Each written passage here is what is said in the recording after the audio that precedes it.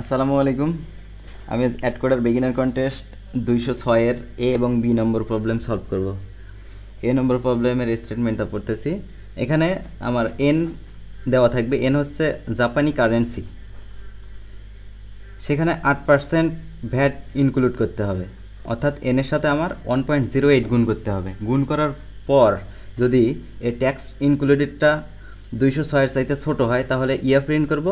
আর দুইশো ছয়ের সমান হইলে আমরা সোসো প্রিন্ট করব, আর দুইশো ছয়ের বেশি হইলে এই তো এই চিহ্নটা প্রিন্ট করব। একটা স্যাম্পল ইনপুট দেখা যাক।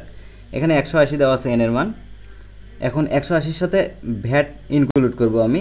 ওয়ান পয়েন্ট জিরো এইট দ্বারা একশো আশিকে গুণ করব। একশো আশি দ্বারা গুণ করার ফলে একশো চুরানব্বই এন হয়েছে। এখানে এটা অবশ্যই দুইশো ছয়ের চাইতে ছোট, তাই আমি ইয়ে প্রিন্ট করছি। আর এখানে একশো একানব্বই আছে। এর সাথে আমি যদি ওয়ান পয়েন্ট জিরো এইট গুণ করি, তাহলে হবে দুইশো ছয়। এই এর ফলে আমি সোসো প্রিন্ট করছি। একদম সিম্পল একটা প্রবলেম ছিল।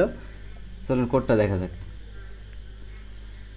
আমি এনের মান নিছি, তারপর এনের মানটা ইনপুট নিছি দেন সামের ভিতর ওয়ান পয়েন্ট জিরো এইট দ্বারা এনের মানটা গুণ করছি। এখন তিনটা কন্ডিশন চেক করছি।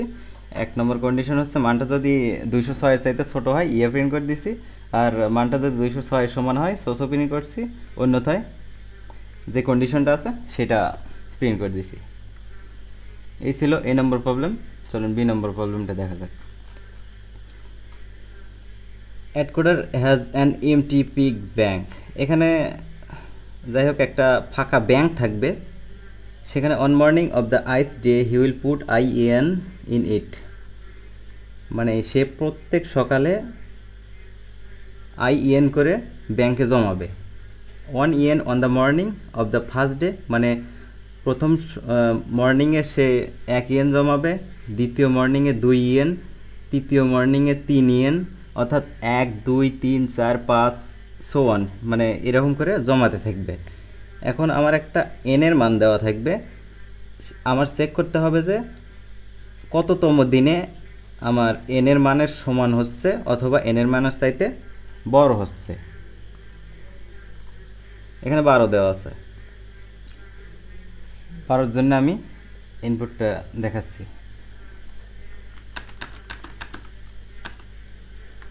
ছয়। এখানে দেখেন, প্রথমে, প্রথম সকালে এক ইয়েন জমাবো, দ্বিতীয় সকালে দুই ইয়েন। টোটাল হলো তিন। দেন তৃতীয় সকালে আমি এই তো তিন ইয়েন যোগ করব। তাহলে টোটাল হবে ছয়। চতুর্থ মর্নিংয়ে আমি চার যোগ করব। এখানে হবে টোটাল হচ্ছে দশ। এখন আমার বারো কিন্তু অতিক্রম করেনি।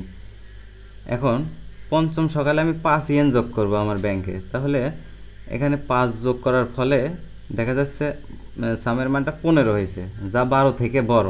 আমার প্রিন্ট করতে হবে যে, এই বারো সমান এবং বারো চাইতে বড় হয়, এমন দিনে, কততম দিনে এটা হচ্ছে। এটা পাঁচতম দিনে হচ্ছে, সুতরাং আমি পাঁচ প্রিন্ট করে দেব। চলুন এটার জন্য কোড দেখা যাক।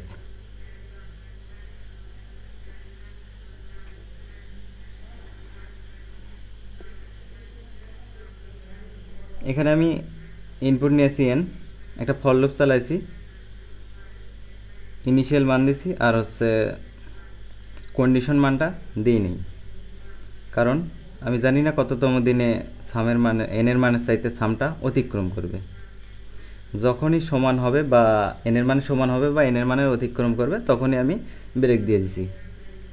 এখানে সামের সাথে প্রতিবার আই যোগ করছি আমি দেখছি যে সামের মান এনের মানের সমান বা এনের মানের চাইতে যখন বড় হয়েছে তখন ডে ভেরিয়েবলের ভেতরে আমি ওই তো কততম দিন, দিনে আর কি অতিক্রম করছে, সেটা রাখছি, আইটা রাখছি, তারপর ব্রেক করে দিছি, তারপর ডেটা প্রিন্ট করে দিছি। সো বন্ধুরা, আজকের ভিডিও এই পর্যন্তই, ধন্যবাদ।